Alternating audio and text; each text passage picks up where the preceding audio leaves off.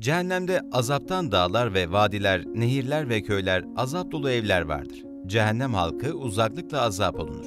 Bütün lezzetlerden ve zevklerden mahrum bırakılırlar. Yüzleri simsiyahtır. Demirden değneklerle dövülürler. Onları kaynayan lavların içinde debelenirken, yakıcı soğuklarda boğulurken görürsünüz. Onların hüznü ebedidir. Asla ferahlayamazlar.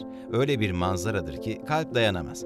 Diller tutulur. Resulullah sallallahu aleyhi ve sellem şöyle buyurdu. O gün cehennem getirilecek. Onun 70 bin yuları yani tutulacak kulbu bulunacaktır. Her yularla birlikte 70 bin melek bulunacak.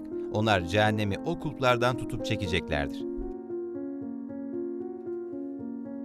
Cehennemin azabı yalnızca ateşten ibaret değildir. Aksine insanlar orada soğukla da cezalandırılır. İmam Buhari ve İmam Müslim rahimahullah şöyle bir rivayet nakletmişlerdir. Ebu Hureyre radıyallahu rivayet edildiğine göre Resulullah sallallahu aleyhi ve sellem şöyle buyurdu. Demiştir.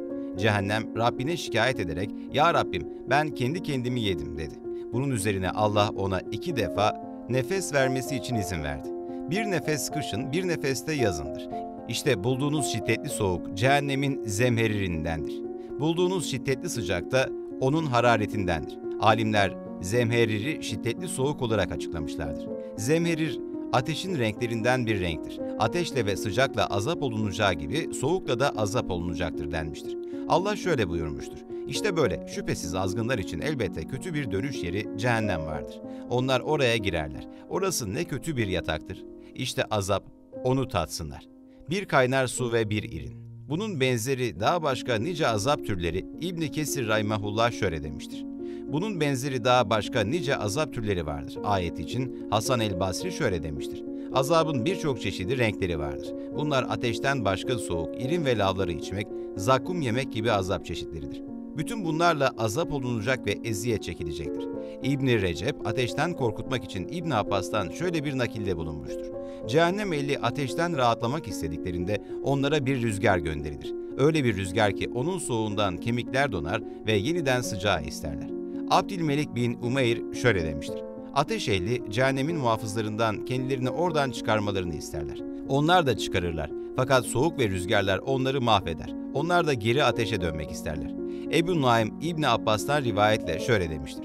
Kap radıyallahu anhu şöyle demiştir. Cehennemin bir soğuğu vardır. Onun adı zemherirdir. İnsanın etini dondurur da tekrar ateşin sıcağını isteyecek hale getirir. İbni Mesud radıyallahu anhu'dan şöyle dediği rivayet edilmiştir.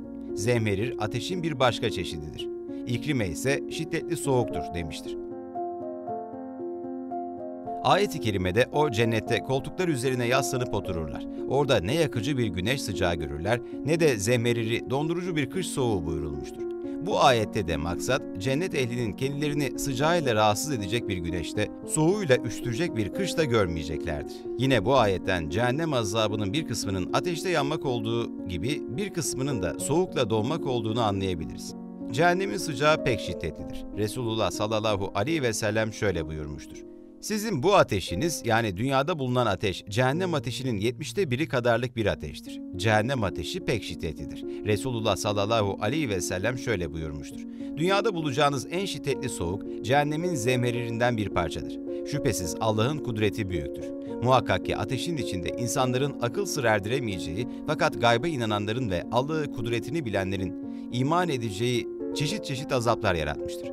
Ateşin sıcağı da şiddetlidir, soğuğu da şiddetlidir. Allah'ın buna gücü ve kudreti yeterlidir. Yaptıklarından sorulmaz, sorguya çekilmez. O Allah ki ona nasıl, nerede, ne zaman, niçin diye sorulmaz. Allah yüce ve üstün olandır. Onun her şeye gücü yeter. Ateşte yılanlar, akrepler ve pek çok başka eziyet verici haşerat da vardır. Ayrıca Allah'ın zalimler için bir fitne vesilesi kıldığı zakum ağacı da cehennemdedir.